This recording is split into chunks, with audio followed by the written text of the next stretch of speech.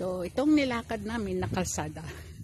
Nabit na kami na isang oras yata at kalahati. Di pa kami nakarating doon sa aming pupuntahan. Ay, yala.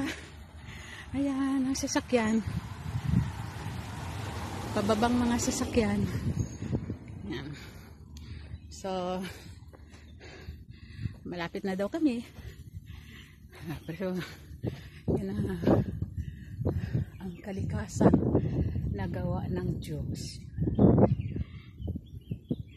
Sige, mayroon pa ulit tayo. Thank you so much for watching.